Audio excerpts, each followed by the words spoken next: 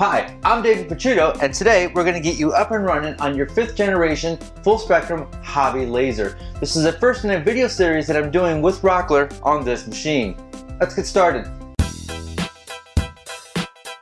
Let's briefly talk about safety. The laser that does the cutting and engraving is actually invisible, and the red dot that you may be familiar with is just used for material alignment. You never want to engrave or cut anything with PVC or vinyl, which produces a corrosive vapor, and never engrave any unknown materials. Never leave the machine unattended as there's always risk of fire. I highly suggest getting a fire extinguisher and keeping it next to your laser. A halogen fire extinguisher like this will not harm your machine or the electronics like other fire extinguishers and is much easier to clean up in case you ever need it. Never operate the machine without proper ventilation. The laser itself does not release any harmful vapors, but you do want the vapors and smoke from the burning material to be filtered or exhausted. There's not much assembly. It's pretty much assembled right out of the box, but there are a couple things that you do need to do to get yourself set up. So let's go over that.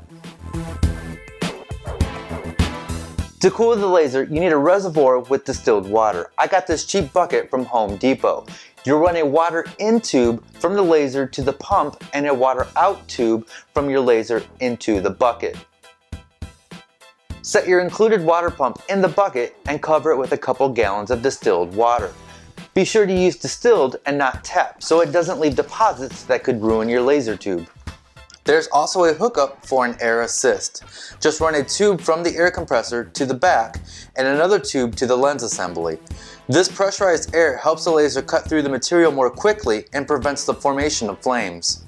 The next thing you do is hook up your air filter or in my case an exhaust system. I have this fan and metal dryer hose hooked up to the back of the unit and blowing out a window. It is highly recommended to run everything into a power strip. This allows you to turn on everything at once and make sure you don't accidentally forget to run the water pump which could damage your machine. There are a few zip ties that you'll need to cut that holds things in place during shipping. Once you do that, you should be able to jog the focusing head using the arrow buttons on the front of the machine.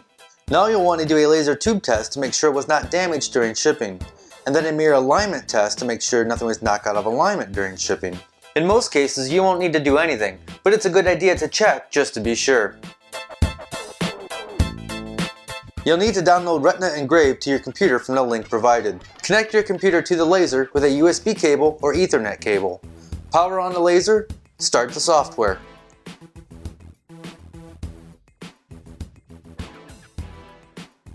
You should see connected in the lower left corner and be able to jog the assembly from the software. Place your material in the machine and adjust the lens assembly using the billet. The lens assembly should always be the height of the billet from the top of the workpiece. From the software, you'll want to home the machine.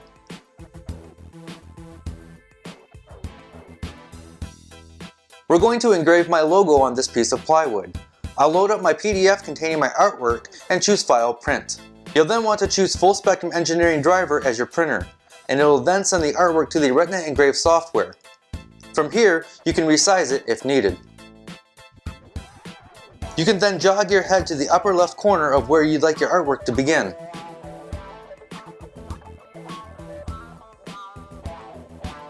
Click on the Run Job Perimeter button and the machine will show you where the artwork will be engraved.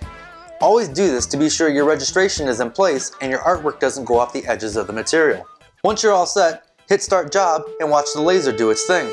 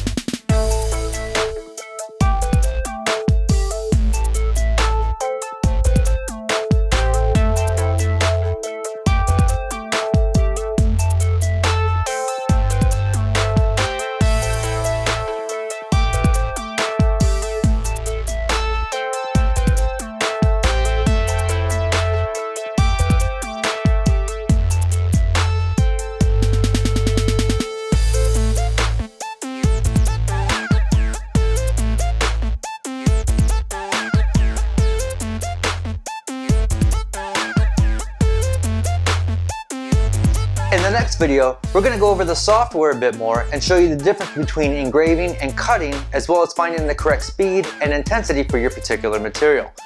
I'm David Picciuto. You can find out more about me on my website at makesomething.tv. As always, stay passionate and make something.